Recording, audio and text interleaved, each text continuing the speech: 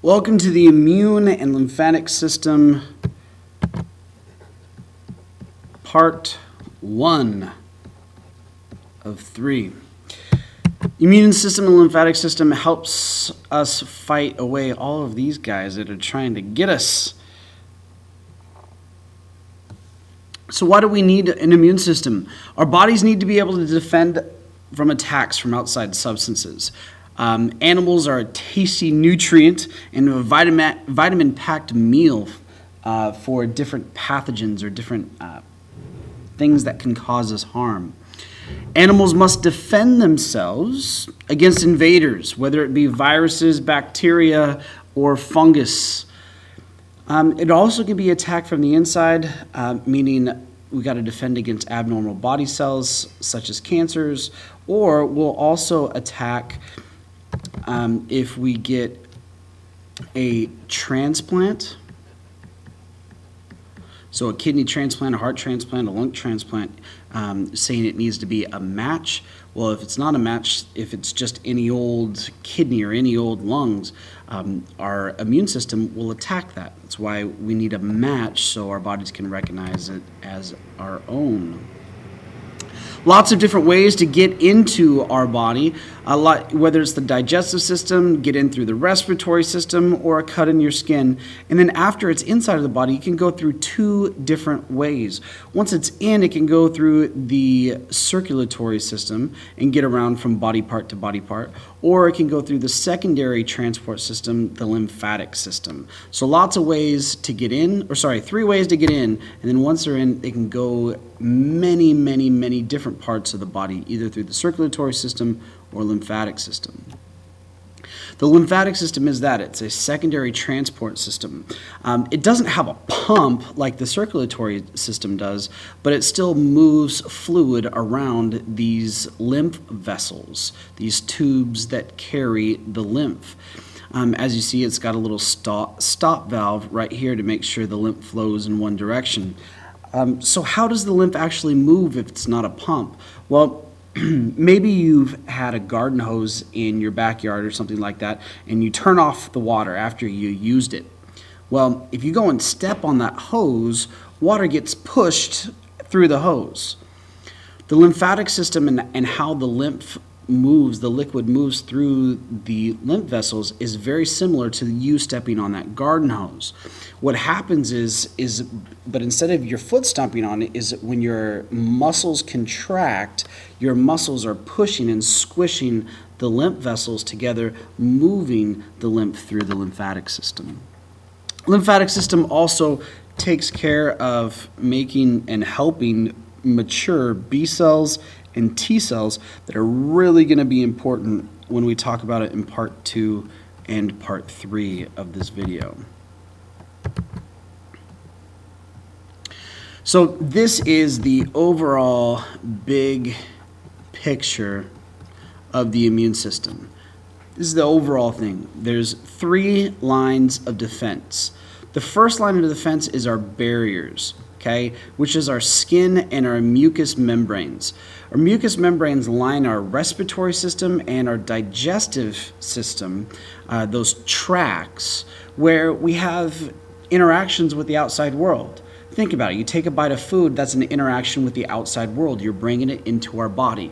So we have mucous membranes there to help, that's like skin and, and secretion of, of gooey stuff to wrap around all the bad stuff so we don't bring it in. Um, and then obviously our skin is a protection from the outside world as well. So those are barriers that are external from the outside to separate inside from outside. That's the first line of defense. The second line of defense is things on the inside but still are non-specific.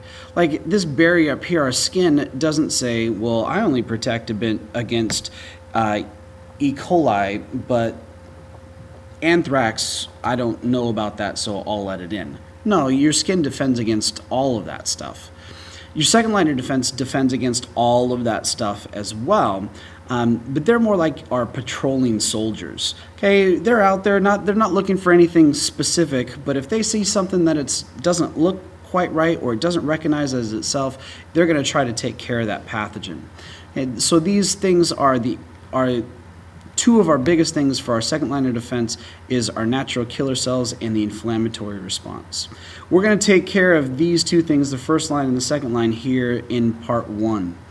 And then the third line of defense, oh sorry, going back to the first and the second line, both of those things are non non specific meaning they help fight against everything not just one thing but they'll help fight against everything a third line of defense, which we're going to split up into part two and part three of these videos, that is where things are specific. These are our special forces. We have especially trained cells to take out special, exact pathogens. So, let's move on and talk about the first line of defense. Like we said, these are our external defenses.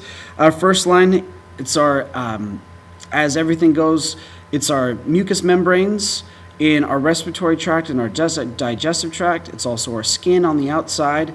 And last but not least, it's also sweat secreted from the skin.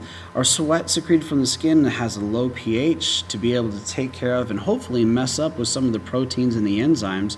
Remember, that's called denaturing the enzymes our sweat has a low pH to hopefully denature some of those uh, proteins of pathogens on our skin to help them not get in. Our second line of defense, again, is still non-specific immunity. It's a general defense. It's our patrolling cells. And it comes down to three different things. The first thing is, is our natural killer cells. Natural killer. Okay? Our natural killer cells. Um, NK cells. They destroy virus infected cells and cancer cells. They make the cells, not the virus themselves, okay, and not what's causing anything to, bad to happen, but the infected cells and the cancer cells. They're infecting the they're telling the cells to go through this process called apoptosis. Apoptosis is defined as programmed cell death. Okay, so it's basically saying the cells, hey, you need to break apart and we'll reuse the parts later, but you, as you're working right now, it's not going to work for us. You're infected. Let's get rid of you, break you down, and reuse the parts. Then we have a complement system, which is a whole bunch of antimicrobial proteins. And what these proteins will go through go through and do if it recognizes something as a pathogen, something bad, what it'll do is the antimicrobial proteins will come and make a pore, which is a fancy scientific term for a hole, in the plasma membrane of that particular individual, or I should say cell. Again, causing apoptosis or a form of apoptosis. Last but not least is we have the inflammatory response. The inflammatory response does a few things, but basically what I want you to think of is increase the heat. And when we increase the heat, proteins and enzymes become denatured. And hopefully the enzymes of the pathogen won't be able to take it and do become denatured uh, due to the heat, and we can beat them that way. So here's just a picture of what happens with our natural killer cells. It causes our cell lysis, which again is a fancy word for breaking up, which is apoptosis, programmed cell death. Here's our antimicrobial proteins. Again, it puts the proteins in that plasma membrane um, and causes a hole in it, again causing apoptosis and lysis of the cell. And again, our inflammatory response causes a lot of different things. Um, it causes our capillaries to dilate and a whole bunch of these white blood cells, red blood cells, platelets, clotting factors to help fight the pathogens. That's the biggest thing, to help flight, fight the pathogens. And then as I alluded to before, the biggest part is denature the proteins and the enzymes of the pathogen. And that is the first and second line of defense. It's like this and like that and like this and uh, it's like that and like this and like that and uh, it's like this. So just chill till the next episode.